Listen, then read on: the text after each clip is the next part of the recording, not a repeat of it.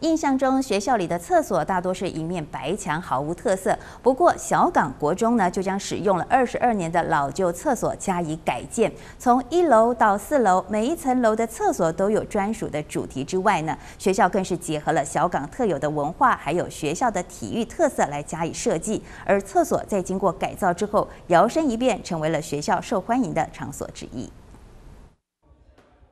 学生踢着足球，后面还有球员在球门前做手球动作。不仔细看，还没发现这座球场可是位在厕所中，背景栩栩如生，还有足球造型的小便斗，创意设计让经过的学生都忍不住多看一眼。路过都会看到，所以觉得男厕设计成这样，就是给人家印象真的很不错。对，也蛮想来这边偷偷的来这边上看看。小港国中的老旧厕所，在经过半年的整建后，现在不仅色彩明亮、通风良好，在规划设计方面还考量到使用者的方便性，更设立小港国中第一座友善厕所，让每天都要使用的厕所变得更有生气及温度。我们就在一楼这个地方，给孩子以学生为中心，设立了足球跟手球的一个一个特色的一个厕所为背景。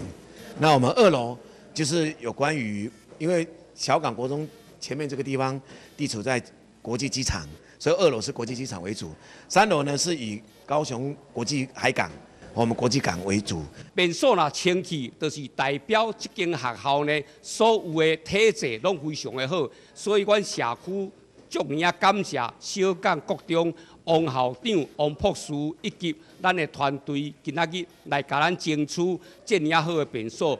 其中最贴近学生的一楼厕所主题规划为足球场，也是学生们最喜爱、认为最有创意的设计。小港国中校长王文林表示，厕所内的设计正是小港国中足球场的缩影，让学生不仅能够印象深刻，更能好好爱惜使用厕所。就谢谢校长，就帮我们用足球，就就以后后来就会想到，就是以前踢球的时光。不仅厕所内部，就连外头也显现用心，像是港都高雄海港美景也映入眼中。另外，大楼外墙也特地绘制了海洋深度图，从瓷砖颜色、海底生物及温度变化，都生动地呈现在学生面前，为海洋教育提供最佳的情境式教育。